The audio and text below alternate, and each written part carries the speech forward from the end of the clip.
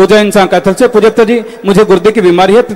और डॉक्टर ने ट्रांसप्लांट करवाने के लिए कहा है मेरे पापा मुझे गुर्दा दे रहे हैं आशीर्वाद चाहती हूँ